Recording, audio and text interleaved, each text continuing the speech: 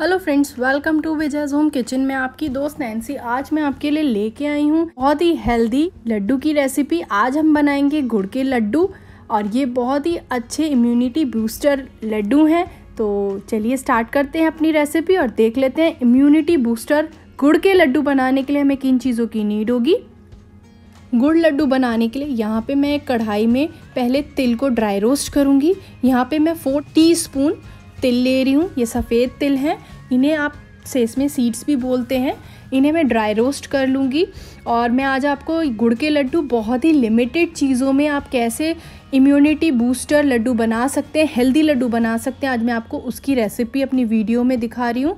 तो ये मैं ड्राई रोस्ट कर लिए थे, बहुत जल्दी ड्राई रोस्ट हो जाते हैं और इन्हें मैंने एक साइड निकाल लिया है। अब इसके साथ मैं ऐड करूँगी यहाँ पे हाफ़ कटोरी घी। हाफ़ कटोरी घी में से भी मैंने थोड़ा सा घी रोक लिया है। जब ये मेल्ट हो जाएगा तो इसके अंदर मैं एक कटोरी आटा आटा ऐड करूँगी। जी हाँ गुड़ और आटे से मैं ये लड्डू बनाऊँगी आज। और ये देखिए, आटे को इसके साथ मैं बहुत अच्छे से भून लूँगी। आटे को आपको इसमें तब तक भूनना है जब तक उसमें से एक बहुत अच्छी सी खुशबू ना आने लगे। आटा जब भुन जाता है तो उसका कलर भी हल्का सा चेंज हो जाता है और उसमें बहुत अच्छी सी एक खुशबू आने लगती है। तो चलाते हुए मैं इसे बहुत अच्छे से भून लूँगी आटे को इसके अंदर और ये लड्डू बहुत ही ज़्यादा हेल्दी होते हैं और साथ के साथ बहुत जल्दी बन जाते हैं और अगर आप अच्छी क्वान्टिटी में इन्हें बना के रख लेंगे तो ये आपके मंथ तक चल जाते हैं। एक दो महीने तक आप ये लड्डू रख के खा सकते हैं। ये देखिए, आटे को मैं बहुत अच्छे से चलाते हुए भून लूँगी। बस ध्यान रखिएगा, आटे को आप अच्छे से चलाते हुए भूनिएगा और आप इसमें घी मैंने थोड़ा सा कम यूज़ किया है। आप चाहें तो इसमें घी और भी यूज़ कर सकते हैं। और अब मैं इसके अंदर ड्राई फ्रूट्स डालूँगी। ये मैंने लिए हैं बादाम। उन्हें मैंने अच्छे से दरदरा पीस लिया था और मैंने इसके साथ लिए हैं काजू। काजू को भी मैंने बहुत अच्छे से चॉपर में चॉप कर लिया था। आप चाहें तो इन्हें पीस भी सकते हैं और आप मोटे मोटे पीसेस में कट करके भी ऐड कर सकते हैं। ड्राई फ्रूट्स डालने के बाद भी मैं आटे को थोड़ी देर भूनूँगी और जब आटा भुनने वाला हो, उससे थोड़ी देर पहले आप इसमें ड्राई फ्रूट्स ऐड कर दीजिएगा कि ड्राई फ्रूट्स अच्छे से उसमें रोस्ट हो जाएँ।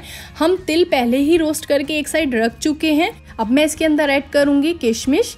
ये मैंने सेवन टू एट किशमिश इसके अंदर ली हैं। आप चाहें तो ये आप जब बिल्कुल लड्डू बनाने चले, उस टाइम में भी ऐड कर सकते हैं। मुझे ये हल्की सी भुनी हुई अच्छी लगती हैं, इसलिए मैंने इसे आटे के साथ भूनने में डाल दिया है। आप चाहें तो इन्हें एंड में भी बिल्कुल ऐड कर सकते हैं और आप इसमें और भी ड्राई फ्रूट्स ऐड कर सकते हैं। मैंने लिमिटेड ही ड्राई फ्रूट्स इसके अंदर आज ऐड किए हैं। ये तिल हैं, अगर आप चाहते हैं थोड़ा पीस के आपको इसका टेस्ट अच्छा लगता है तो आप ये पीस के भी यूज़ कर सकते हैं। लेकिन मैं इन्हें ऐसे साबुत ही यूज़ करूँगी। ये मैंने गुड़ का पाउडर ले लिया है जैगरी पाउडर आप चाहें तो साबुत गुड़ भी ले सकते हैं। और यहाँ पे मैंने गैस को ऑफ़ कर दिया था। ऑफ़ करने के बाद भी आप ध्यान रखिएगा, इसे चलाते रहिएगा, क्योंकि हमारी कढ़ाई जो होती है वो गर्म होती है तो जलने का डर रहता है, आटा जल ना जाए। मैंने इसे एक साइड रख दिया था ठंडा होने के लिए। जब ये थोड़ा सा ठंडा हो जाए तो मैंने इसके अंदर इल ऐड कर दिए हैं और ये गुड़ का पाउडर ऐड कर दिया और इसके साथ बहुत अच्छे से मिक्स कर लूँगी मैं इसे।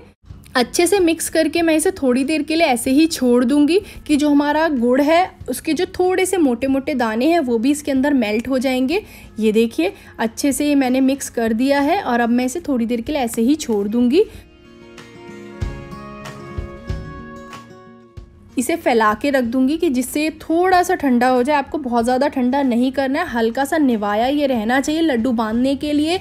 जो आटा है वो इतना रहना चाहिए कि आप उसे हाथ में जब बांधें तो आपके हाथ ना जलें। ये देखिए, मैंने इसे थोड़ी देर के लिए छोड़ दिया था। अब हाथ में हल्का सा घी लगा के मैं इसके लड्डू बना लूँगी। आप इसके मोदक भी बना सकते हैं। जो हमारे मोदक होते हैं, आप उस शेप में भी इसे बना सकते हैं।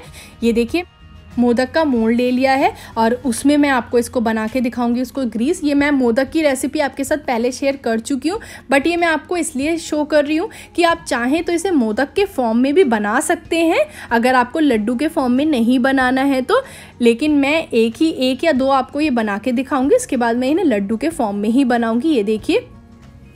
कितने अच्छे से, मोदक तो मैंने आपको पहले भी बनाना बताया है। आप उसी तरीके से इसे फिल करके, ये देखिए कितना अच्छे से मोदक बन के आया है। शेप आप कोई भी दे सकते हैं, जो भी शेप आपको पसंद हो, जो भी अच्छी लगे, वो शेप आप इसे दे सकते हैं। आप इसे बर्फ़ी के फॉर्म में भी रख सकते हैं और आप चाहें तो इसे ऐसे भी स्पून से खाने वाला भी इसे रख सकते हैं। ये देखिए, मोदक हमारा बन के तैयार है। अब मैं इसके लड्डू बना लूँगी इस टाइप से।